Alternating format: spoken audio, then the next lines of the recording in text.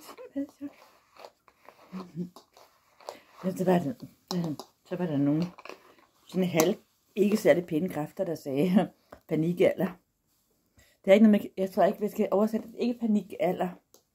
Øhm, der er ikke noget med panikalder. Mere sådan, øhm, hold op med det der med panikalder. Jeg vil lige at sige, øhm, hair panic, face panic, body panic, female panic, øh, look panic. Altså, ikke noget med panik alder, jeg vil mere sige, øhm, panik appearance, tror jeg. Panik, øhm, panic attack.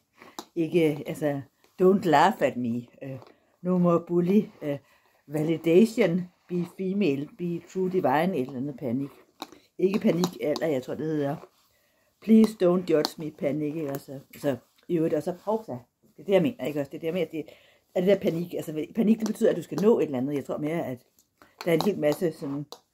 Hvis nu jeg er sådan lidt af det, jeg gerne vil undgå, for at sige det pænt, ikke? Og sådan, hold op, nej, sødeste kan du gå katten, og man, hun bare lige ned og noget spise, tror jeg.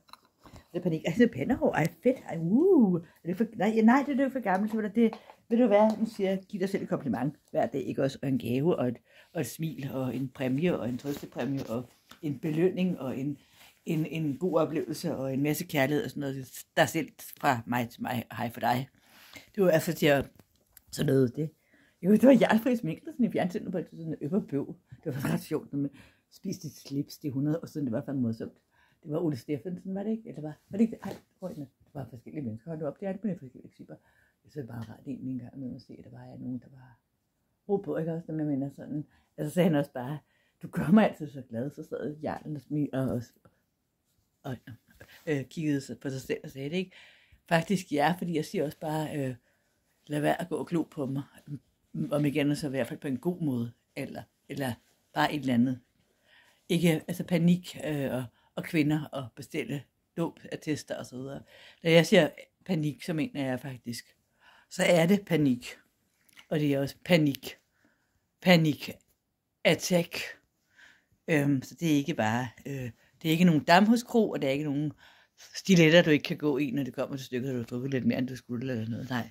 Panik er panik, og nu, det er håret, ikke også, jeg mener hår. Hende der med håret, og det er det, fordi altså, det, det kan man også være, det kan, det kan nemlig lige præcis også en meget stor, jeg har haft alt, tror jeg, og jeg har ikke haft handicap og sådan noget rigtig vildt noget, men altså, jeg mener, der var sådan identitet og håret, det er jo ikke lige fremme. Det er jo ikke, det er vel ikke nogen ukendt sag. Hvad med Broby Johansen? Var der nogen, der har læst ud Broby Johansen også bare? Det var faktisk øh, kjolelængder.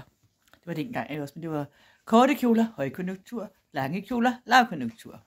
Fordi du behøver ikke at bruge så meget stof, når det er øh, gode tider, så kan vi godt vise ben. Så vi er optimistiske, men det kan du ikke, når det er hårde tider, så skal du have ned over benene, fordi øh, at øh, det gør man. Det var en eller anden teori, men det, det virkede også, det var også rigtigt nok, men, men Proby Johansens øh, kjolelængde teori, den, den virker ikke mere. Den er helt tilbage til, 30, til før krigstiden, tror jeg nok, hvis jeg husker rigtigt. Ikke?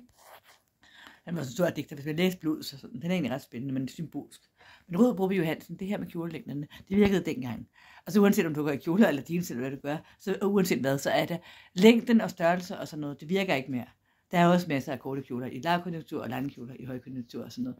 Den virker ikke mere. Jeg ved ikke hvorfor, men, øhm, men den virkede på, på der tiden, dengang der, der var der noget om det, ikke også? Der var rigtig meget om det. Men hvad sagde, nej, konjunktur, nej, det har det vel altid været, også selvom vi havde et andet økonomisk system. Men altså nej, prøv lige at læse op på det, jeg kan ikke huske det. Men det var meget sjovt, ikke? Sådan, hvordan kvinder ser ud i forskellige afhængige af verdensøkonomien. Haha, det er hovedet. Jeg har prøvet hovedet. Prøv med det, så har jeg prøvet det. Ny kvinde hver dag. Det er bestemt ikke kedeligt. Hey. Og så jeg make op på og sådan noget. Det er godt, at jeg er jo rolig nu. Det er sødt at slappe af.